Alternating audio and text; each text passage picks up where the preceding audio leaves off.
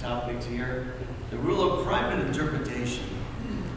Basically, what I mean by that, what I'm going to be talking about tonight, is that there's no contradictions in the Bible.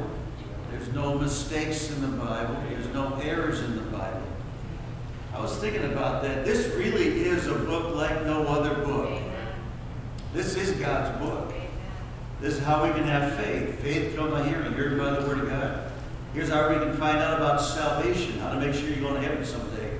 That's in 2 Timothy there, chapter 3, verse 15.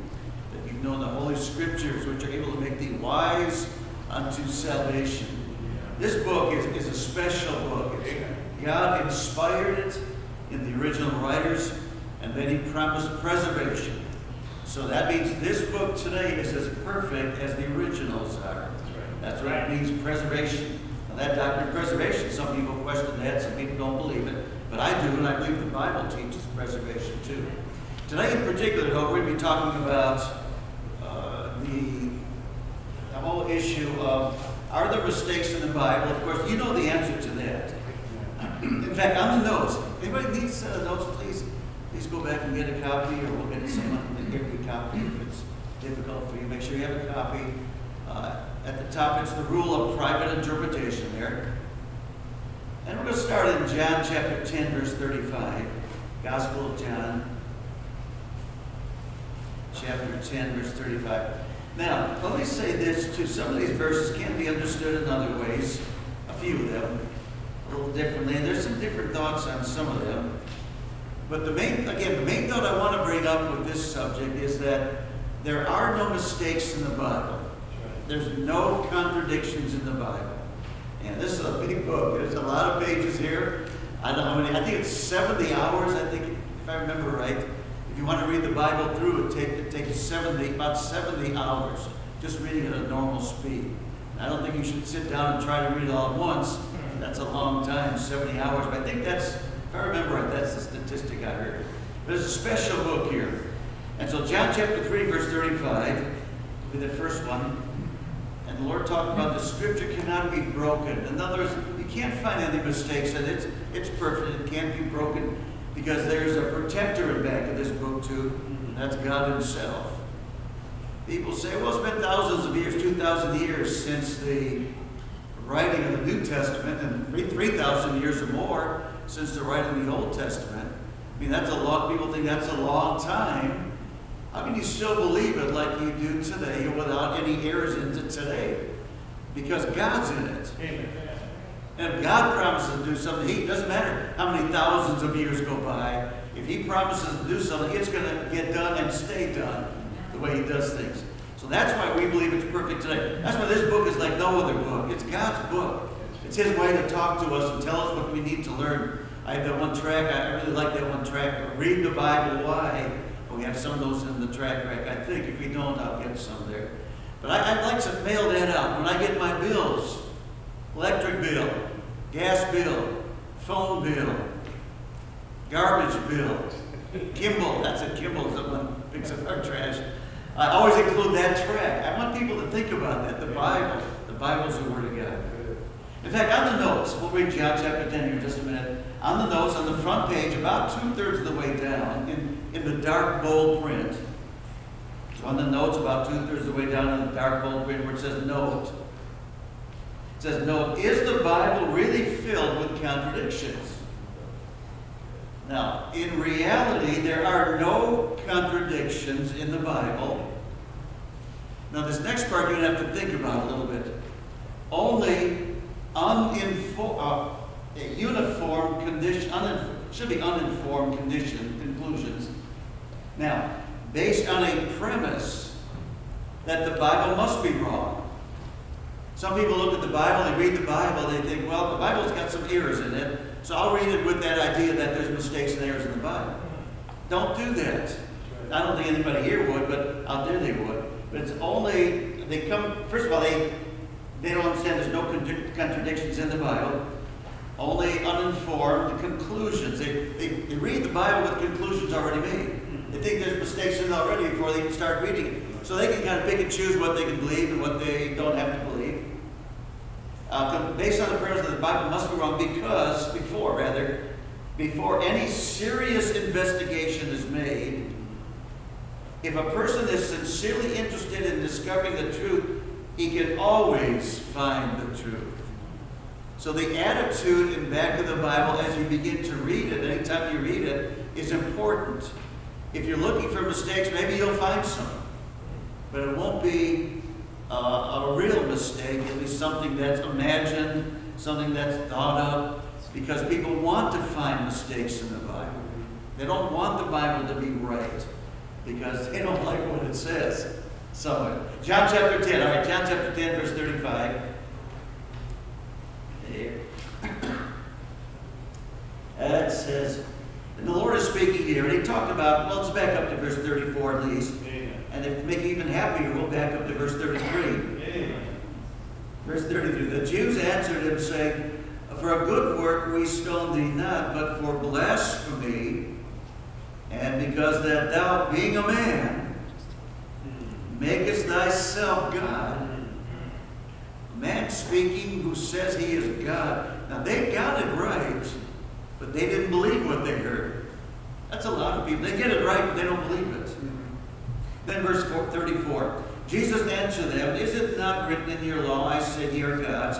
Now the word gods there just means, they used to call some people gods because they, they uh, were great in some certain ways. They gave the, small letter G gods.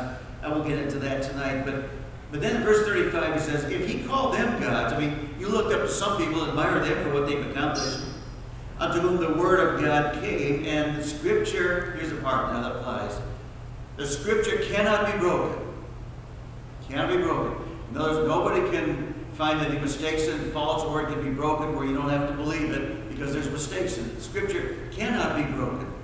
Then says, Say of him whom the Father hath sanctified and sent into the world, thou blasphemest, because I said, I am the Son of God. If I do not the works of my Father, believe me that. If, I, the works I'm doing aren't right, don't believe me then. But if I do, though ye believe not me, believe the works, that ye may know and believe that the Father is in me and I in him. Because the Lord did miracles. He did miracles. And they saw him do those miracles. How else are they going to explain it? The miracles really could not be questioned. If those miracles could be questioned, like we see you know, faith healers today doing so-called miracles, and some of them are really found out from using devious means. Some of them really are found out. But the Lord says here, He, he did miracles. They never questioned the authority and the reality of His miracles. They never questioned the man with the withered hand. Other miracles that the Lord did. He did a lot more that's not written in the Bible here. They never questioned whether they really happened, whether they really were miracles, they really did heal, and so forth. Because if they would have questioned it, they would have looked foolish. They would have looked foolish to the people. So they didn't question it, but they had to come at him some other way, some other way. So that's how they did here. They're uh, in, in different ways. But anyway, in the middle of this whole thing, it's the scripture cannot be broken. The scripture is real, it's powerful, it's, it's a, a unit, it's united together. You can't break it apart. You can't break it apart. All right, next verse, Acts 17, verse 11. Can you recite that from memory? I, I had to memorize one here a few months ago, and I have the hardest time with this verse. This is one of those. Let's see, Acts 17, 11. Yeah, these were more noble than those in Thessalonica in that they received the word with all readiness of mind and searched the scriptures daily whether those things were so. And that's the way we need, that's the attitude we need to have too. Be skeptical unless you really found out it is in the Bible. Other than that, be skeptical. There's nothing wrong with that. If it's true, you'll find it's true. If it's true, there'll be no question about it. So it doesn't hurt to be skeptical, but don't be so much of a skeptic that you don't believe the truth even when you find the truth.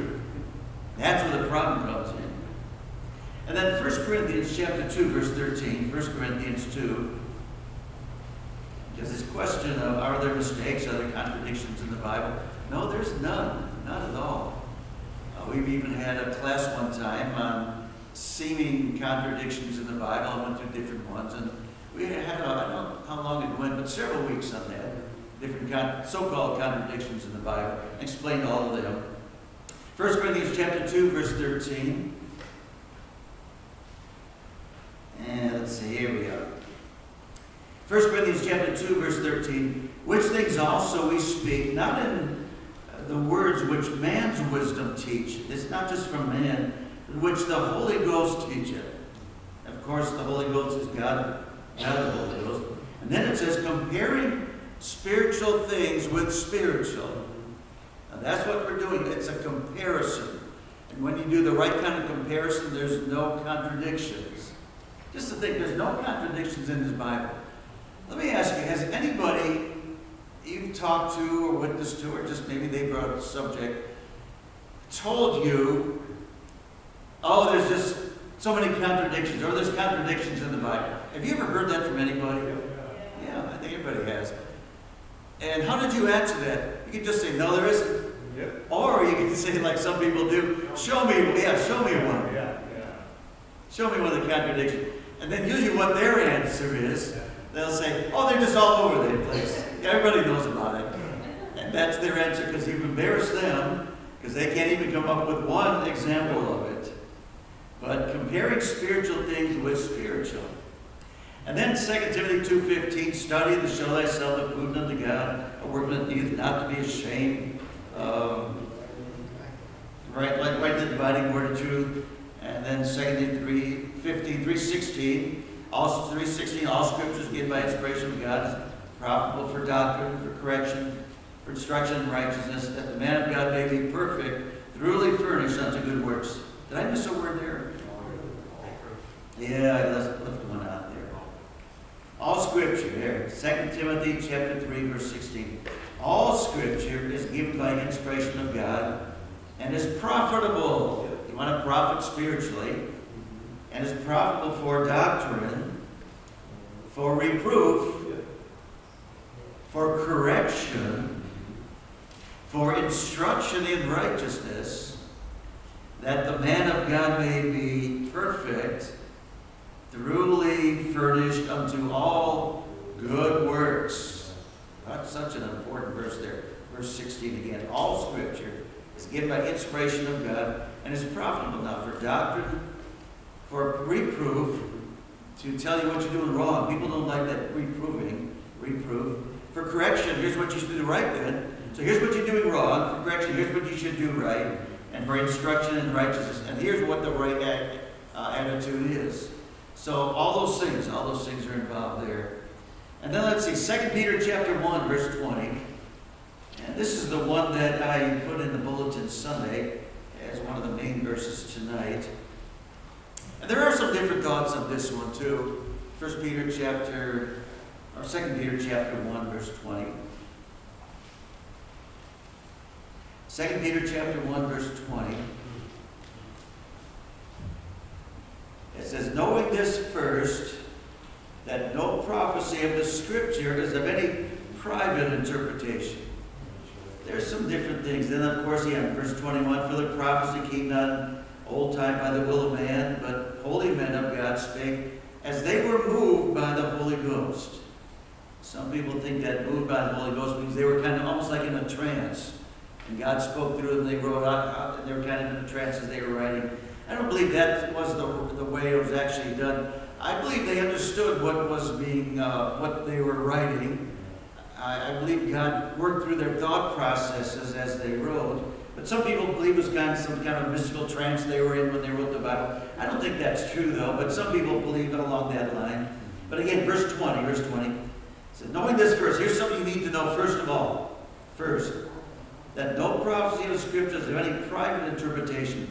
The way I, I understand private interpretation, what my thought is here, is that it means you cannot interpret any verse in the Bible without looking at other parts in the Bible where that subject or that doctrine is brought up.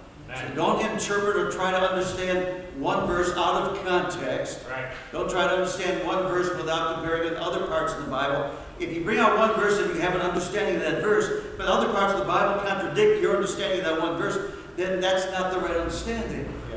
It all has to fit together, like we have uh, puzzles we put together. We have to get all the pieces together. First of all, usually what people do is they get the frame, you know, the outline, the frame first, and they work out everything else work. Same thing with the Bible. There's pieces here in the Old Testament, there's pieces in the New Testament, different kinds of doctrine. That's how you have to work it. Because it's all the truth is all over the place. Sometimes, as we already studied, one of these rules of Bible study, sometimes it is one portion of Scripture where a lot of information is given. That's true too. But the point I want to bring up tonight, there's no mistakes in the Bible. There's no contradictions in the Bible. There's no errors in the Bible. If there are, it's not God's Word. Clear enough? Clear enough. Clear enough? All right, let's look at the notes. Notes here. All right, the top again, under the Bible verses. Then Scripture is the Word of God in written form. Honestly, friend, that, that thought amazes me. It's really got my attention years, years ago.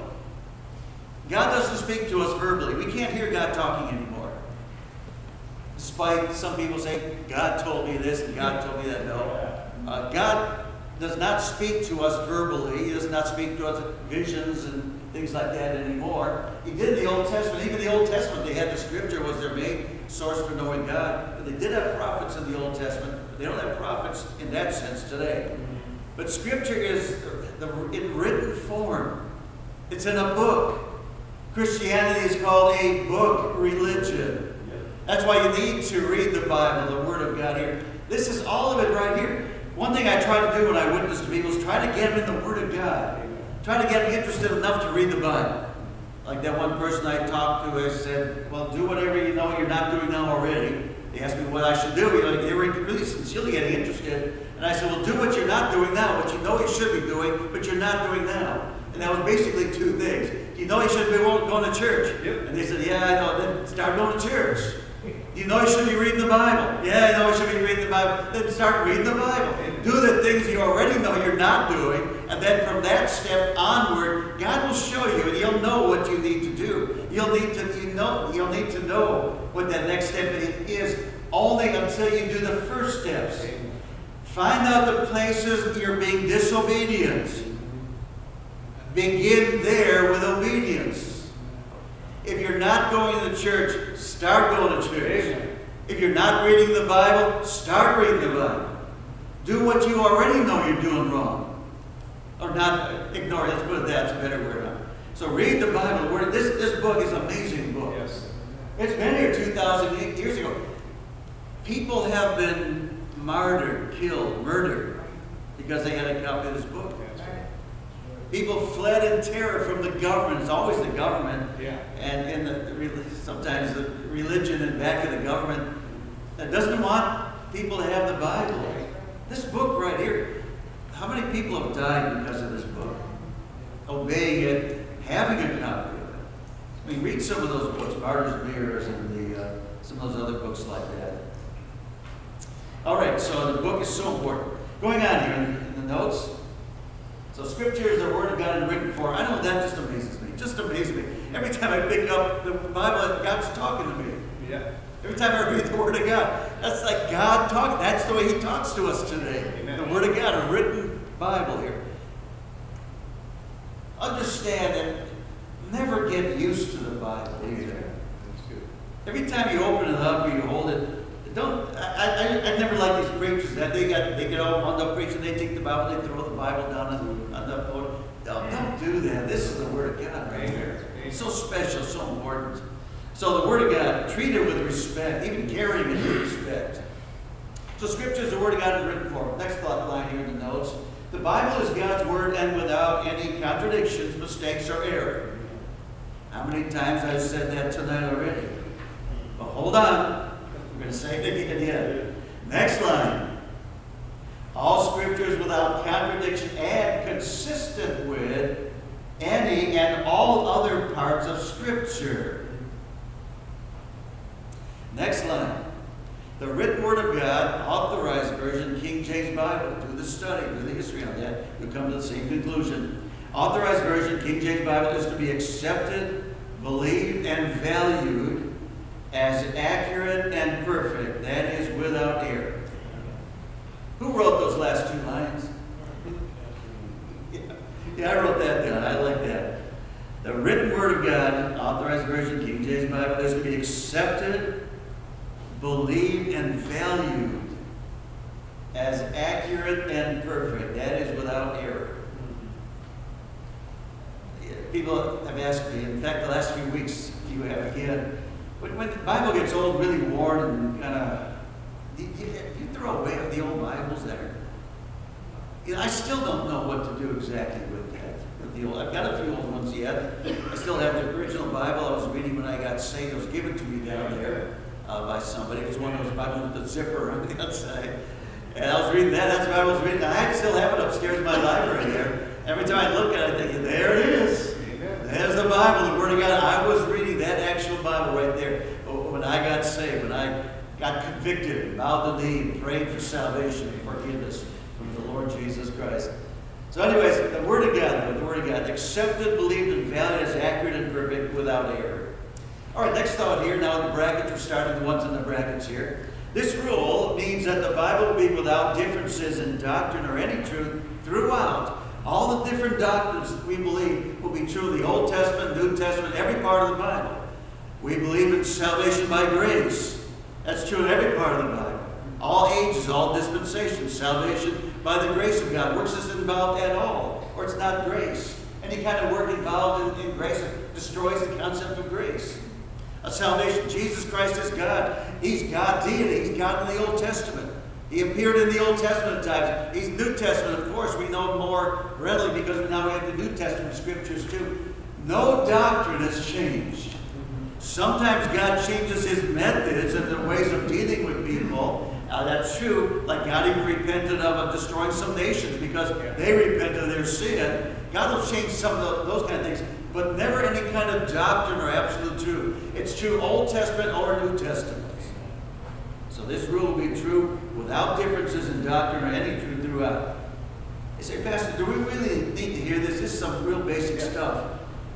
You know, there's a lot of people that don't believe the basic stuff anymore either. Right. They're turning from things. Next one in brackets here.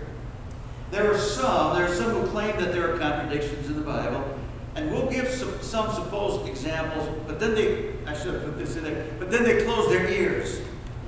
Because they don't want to hear an answer. But all can be explained if sincerely and honestly studied and appraised. And that's it, sincerely and honestly studied if they sincerely look at it. Because there are answers to everything. There are. But people don't want to hear the answers. So they ask you the question, then they leave. Number three, the third one in brackets here. The rule of private interpretation means that the full truth in God's Word on any given subject must not be understood from an isolated passage from other portions of Scripture. Right. Did that make sense or is that too wordy? You don't take one verse here and isolate from every other part of the Bible where that verse or that doctrine, that truth might be brought up. You don't isolate from anything else. That's why we have problems with people uh, baptizing people and think it's part of salvation, all kinds of different things. We'll deal with a couple of them here as we continue on. But the rule of private interpretation, you don't isolate Bible verses from each other. When, when you got it right, it all fits together like that picture puzzle. Next one. Mainly, we are saying there are no contradictions in the Bible. Exclamation point. You see the exclamation point there? You know why I put that there? Because I want to say it loud. Good. Mainly, there are no contradictions in the Bible. Amen. No contradictions in doctrine, in statistics, in facts, in history, in science, in any. Oh, I have history down there twice. Wow, okay. I'll change that for next week. Uh, in history. In history and science and history and doctrine and statistics and facts. Everything, everything. No contradictions, even in the smaller things. Even in the smaller things. God is perfect in His. Next one in brackets. When the Bible is interpreted in the correct way, there's no contradictions in it. In fact, now this is important. This is real important here. In fact, this is a test, a way to determine the correct inter interpretation and to reject the false. This, this way helps people to understand why the cults are wrong. Uh, this, this way, this method understanding that the whole Bible is, is without contradiction is why I read that magazine, a little bit of that magazine Sunday morning in Sunday school, uh, the Seventh day Adventist say we should be keeping the Sabbath. Well, well, that's why, this is why that is wrong. Then it says here, if there seems to be a contradiction, keep studying until that contradiction is resolved. There are answers. There's answers to everything. Next bracket. The cumulative revelation, including all of the Bible, is to be included on any given doctrine or subject. Here, kind of said that already. Next one.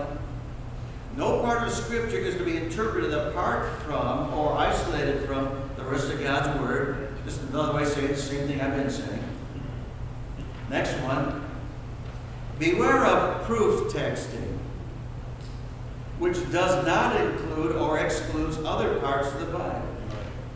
People say, you know, like in the, in the uh, yeah, Mark there talks about, except you being baptized, you have to be baptized.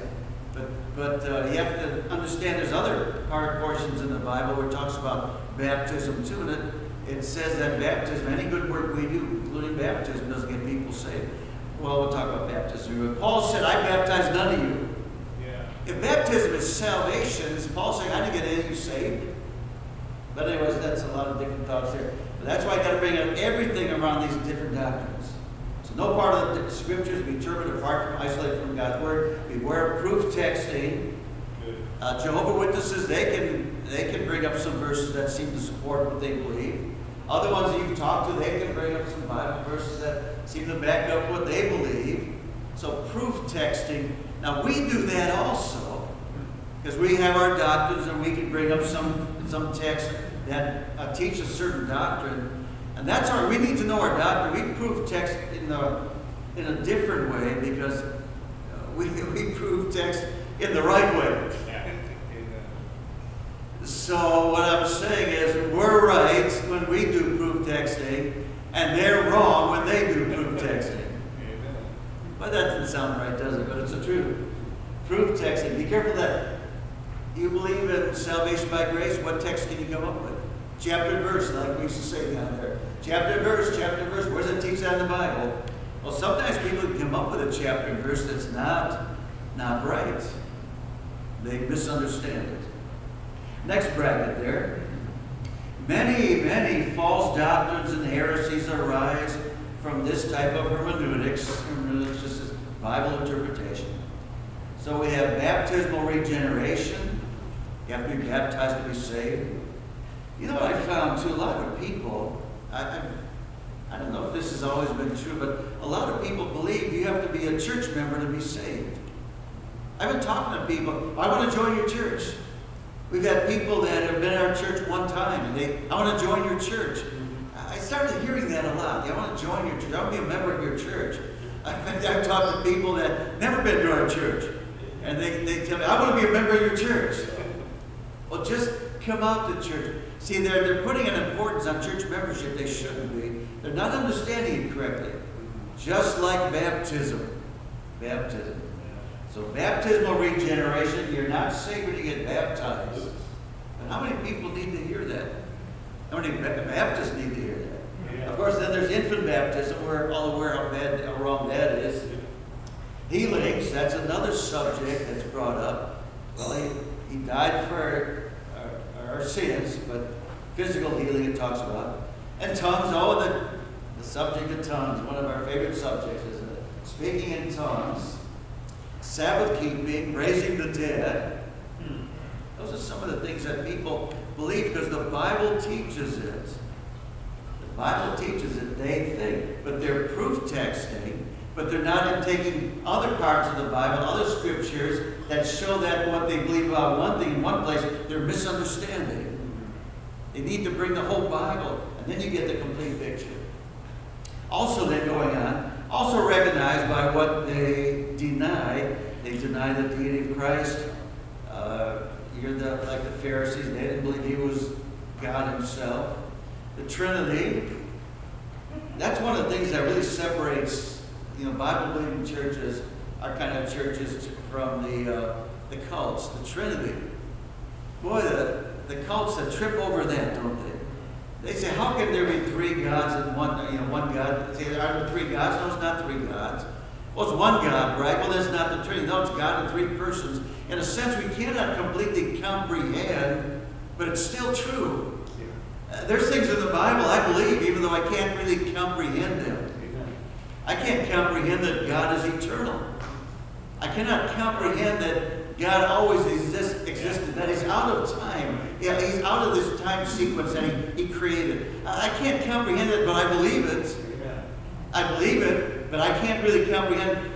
Like I say, God is a lot smarter than we are. Our knowledge is limited.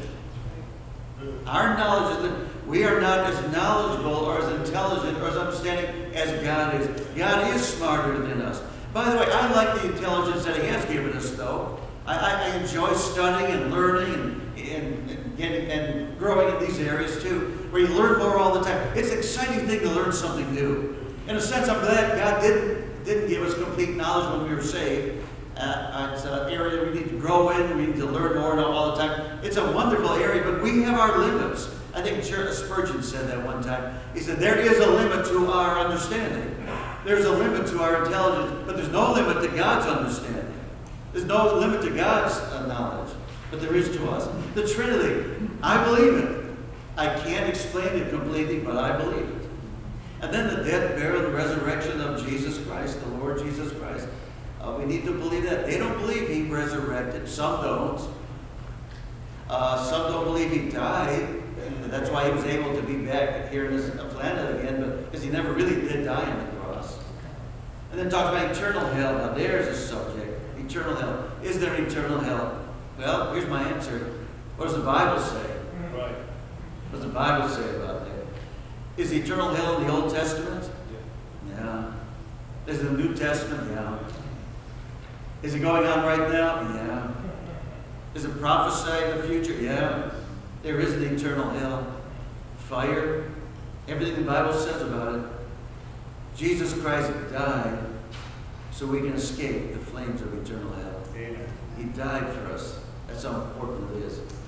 God is the judge, and in His holiness, He must judge all mankind guilty because we are all guilty.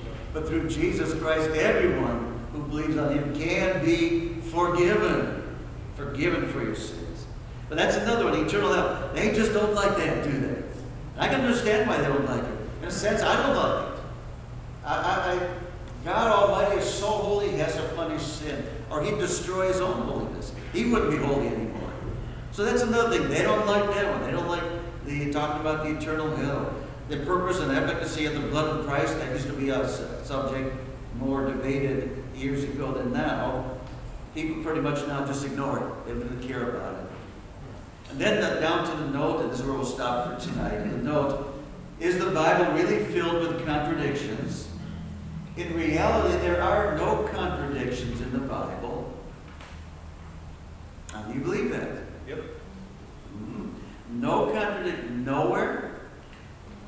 Not even one. Nope. Not even one little contradiction. No. No. There are no. If there's contradictions, it's not God's word. Amen. God inspired the 100% of the Bible, and He preserved 100% of the Bible. No contradictions in the Bible, only uninformed conclusions, uninformed conclusions based on a premise that the Bible must be wrong. Hmm. So some people pick up the Bible thinking it's wrong, and they read it with, with that thought in mind. And if they think parts of it are wrong, then maybe they think, well, that, I didn't like that part, so that must be one of those wrong parts. That's the way people do. All right, any serious investigation is made. If a person is sincerely interested, though, in discovering the truth, he can always find, he can always find the truth. The truth. All right, so we'll continue next week, we'll come up with some good examples on the backside. On the backside of the notes, we have a couple of them we'll deal with next week. Baptism for the dead. Don't do it. And then healing, physical healing. By his stripes we are healed. Well, doesn't that say we're healed? Well, what kind of healing? Physical healing or spiritual healing? So next week we'll continue with this study then. Heavenly Father, Heavenly Father, thank you for this time. Thank you for your word that is without error. That, Lord, may we never get used to your word. May it always be something special and precious. Every time we pick it up to read and look at realize you're going to talk to us through that word in this way.